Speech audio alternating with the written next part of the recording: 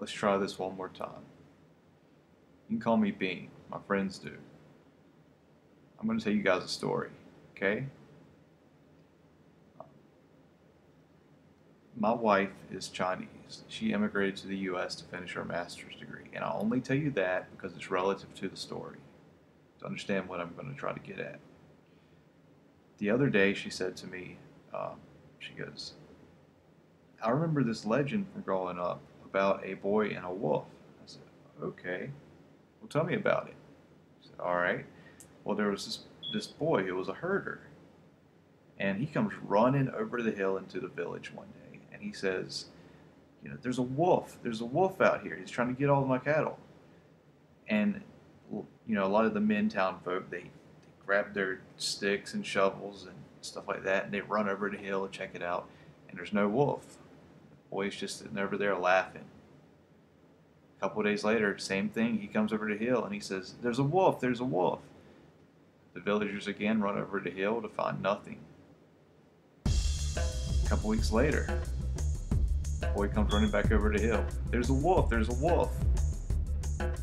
Nobody does anything. And there really was a wolf this time, and it ate all of his cattle. Now, everybody knows this myth. This is something that I guess has been engraved ingrained human existence for a millennia. And it has a very poignant meaning. It's very important to all of us. It's something that everybody should learn. Every kid needs to know it.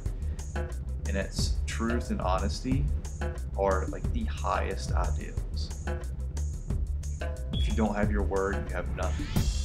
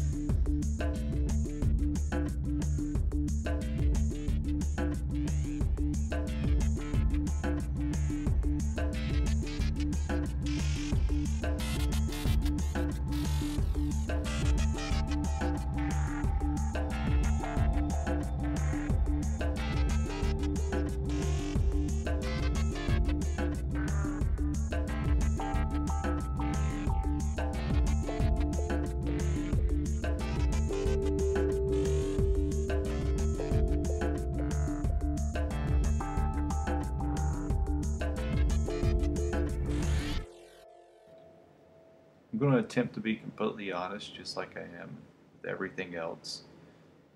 Um, I believe, as I forget who said it, a wise man, though, if you never lie, you have never have to remember anything. And that's a fantastic way to live, I think. If you are truthful to yourself and others, you don't have to worry about remembering laws. It's common sense. So um, here's my story. Can kind of tell where I'm coming from, why I'm doing this podcast, what I hope to accomplish with it, and I hope you enjoy it.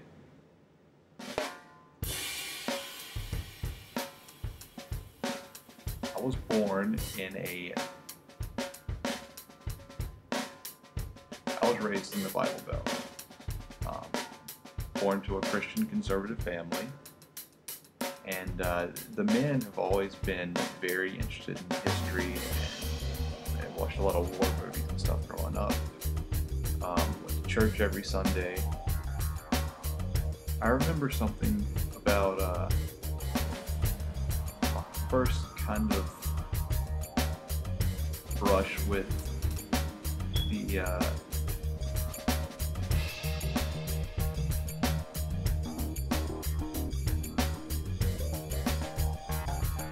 I remember the first thing that ever told me not things. Um, first was when I was younger, I got a virus or infection of some sort, and it was misdiagnosed, and it later developed into epilepsy. And uh, same thing almost happened to my cousin. Same exact. Anyway, because of this development, I ended up having to take this medication. I've taken it at the same time every day, 8 o'clock. I'll never forget it. I've taken it for years. And I remember I went on this church trip. And we were, uh, I don't know, watching some play or something. And the minister took us on this trip went and got me and was like, okay, it's time to go take your medicine. All right. He took me to the water fountain got up there and okay, take your. And I said, no, it's not 8 o'clock, it's 7.50. And the story, he told, he told it in a sermon multiple times. When we came back from the trip, I remember he mentioned. Um, and years later, you know, I haven't been to church in years, and uh, I went off to college. Uh, like, I go visit the church. Like, I went just to see people I haven't seen in a very long time. There, I'm sitting pretty much in the back row. And he tells the story about me not taking the medicine exactly. I want to take the medicine because it wasn't exactly time yet. And he was telling it to me. he was telling it to mean, you know, we shouldn't wait for our time. We should, we should make time for ourselves. And basically, I wasn't taking it because the doctor said to take it at 8 o'clock. And I was like, well, he must know what he's talking about. I probably should wait till 8 o'clock to take it. And this kind of ridicule about following authority really had an impact on me. If it wasn't, you know, correct to follow the directions exactly, maybe nobody of these people really know what they're talking about. The reason I had epilepsy to begin with is because I was misdiagnosed.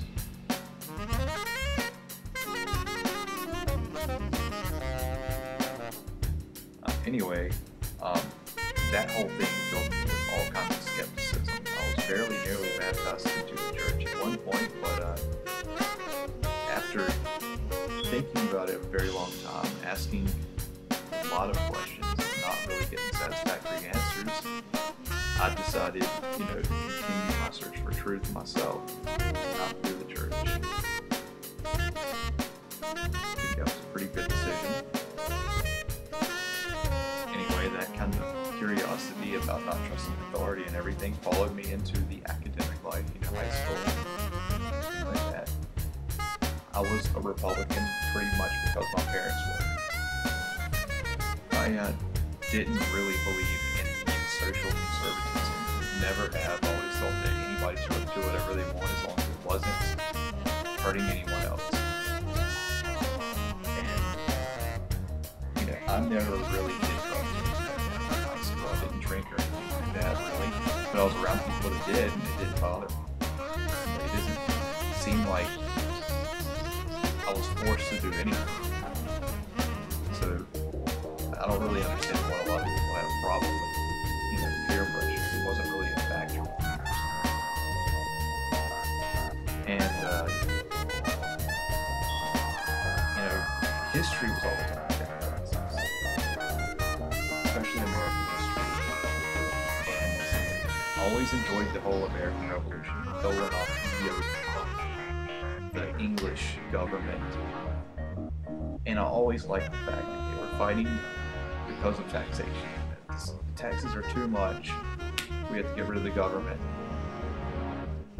And then all of a sudden, you know, once the, the revolution's over, America has their independence, you know, the colonies have their independence at that time, and suddenly taxes are okay.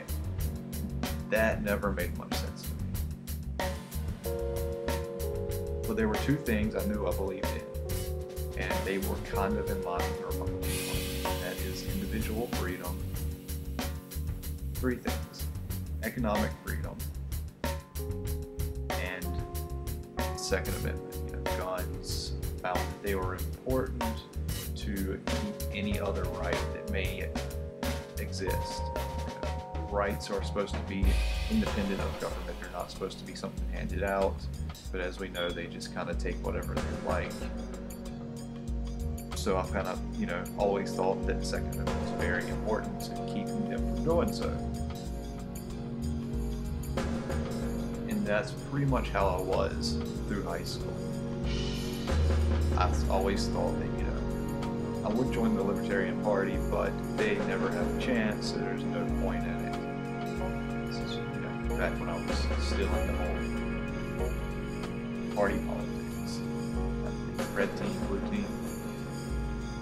Um, anyway, it was years later, I was in college, and I met this guy, became a very good friend of mine, and he introduced me to the outside the mainstream political movements, you know, the other options besides the Republicans and the Democrats. And he introduced me to Alex Jones. This was a pretty big impact on me. Um, I originally, whenever I'd listen to Alex Jones, I did it because I thought it was funny. I like to hear him rant. And uh, one day, my friend invites me over. He's like, "Hey, um, Alex Jones is putting out a new movie. It's called Terror Storm. They're showing it online for free. This was back when they used to not stream everything for free all the time on the internet. You can find it anywhere. But um, okay, come over and watch it with me. I was like, sure. And I went over there. We watched it, and uh, I took some notes. You know, he's like, don't believe anything guy says. Just kind of write down stuff and look it up later. And I, I remember specifically the Gulf of Tonkin incident. That having a really big impact on me. Because I remember learning in high school how it sent us into Vietnam War. Um, yeah. Anyway, so the Gulf of Tonkin incident. Apparently, it was completely faked, and I hadn't heard about that. It was the first time I heard about that, and I was like, "Whoa!" Looked into it, found out that was completely true. And once you find out something like that's true, it's impossible to really go back. You know, you see things like 9/11 completely different. You see from a completely different lens possibilities of the terrible, terrible things government. And because of my friend and of course Alex Jones, I ran into the ideas of Ron Paul. And I was like, man, Ron Paul is awesome. He is the only candidate to ever run for office I've actually agreed with, even stuff that he says. And I became really involved in helping out with his campaign locally, putting up signs and stuff. I didn't really work with stuff on my own. I worked with the, through local meetup groups too on occasion. But um, anyway, met Ron Paul twice. Um, first time, this was back, I think it was in 2006, and he was campaigning through South Carolina. And you know, I went for the whole with my friend and some other people from the Ron Paul meetup group down there. We set up some signs, heard him speak, got my picture taken with him, got the signs on. It was cool. Um, later, back when uh, he was running for president in 2007, you know, later in the campaign, he, uh, back when he did that really awesome debate in South Carolina, and he did the debate, and then he left after the debate and went somewhere else and spoke, I was there.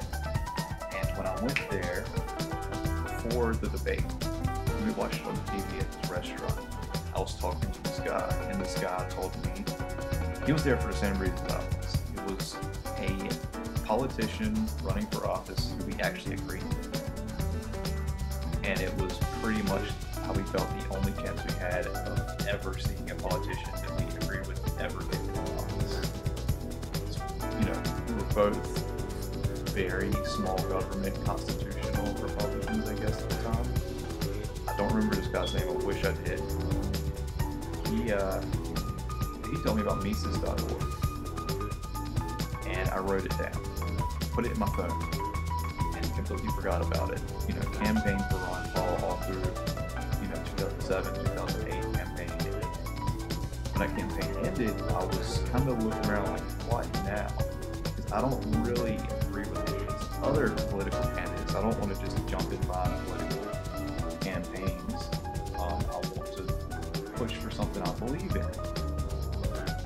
should maybe I should issue and kind of you know that or something.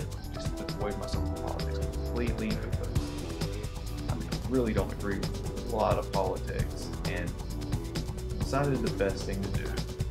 I'd, I'd go on to, to Mises.org, you know, look at some videos on YouTube or something, figure some stuff out. And after a while of doing that, I decided, hey, I'd read a couple books. And I picked up, it was um, Our Enemy the State by Albert J. Nock, which is the perfect primer for libertarianism. It makes you really dislike the state. It's, it sets you up for just for just hating the state, as you should, because it's a monster. And um, then I read For New Liberty by Murray Rothbard, and that book blew my mind. It showed me that we could be free. Possible, and I got really into the whole Austro-economic libertarian world, you know, arguing with socialists about how they were wrong and how we could save the world, and if we could just get past this whole violent notion. You know, that was the core. It's all the core if everything is the non-aggression principle. And if humanity could just accept it. And it's something I still believe. That's what ultimately turned me into a voluntarist. But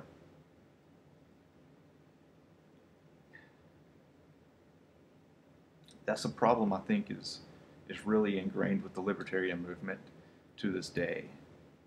And that's uh, they concentrate too much on economics. I completely agree that freedom, free markets is the way to go. But I have no problem with anybody else participating in socialism as long as I don't have to be involved with it.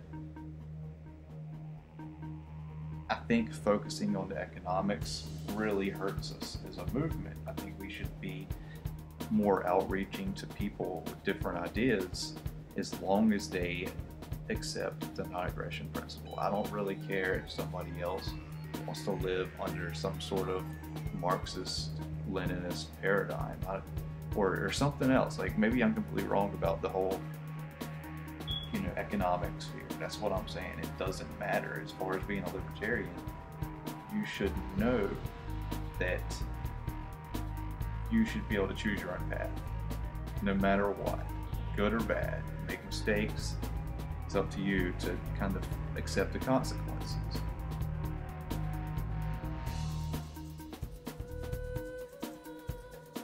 So, um, you know, being a being a like a Austro-economic libertarian, that was that was great. I learned a lot from that. You know, read a lot of stuff, a lot of books, got into a whole bunch of different ideas. Um, the whole time going through this, I was very much agnostic. I believe, still believe, that it's pretty much impossible to prove God there's a thing though. There's, I think it was Penn that was talking about agnostics, and he was saying that agnostics were just atheists. And I completely disagree with that because I'm agnostic. I believe that it's impossible to prove that there is a God. But I don't rule out the possibility that there is. Um, fact, I've seen some things, and I think there's definitely something beyond the physical. And I'd almost say that I'm more Gnostic than agnostic because I believe that spirituality is part of being human. And I think that people should be able to experiment with, with that kind of thing. They should try to see if they can have a religious experience. And that's something else too. Um, I think it was Alan Watts who said that Christianity is kind of the antithesis of having a religious experience. You're supposed to just believe, and it's wrong to even try. To, You know, to try to meet God on your own terms is completely wrong, and I gotta disagree with that. Um, something else that had a very, very big impact on me. Years later, a couple years later, from uh, how many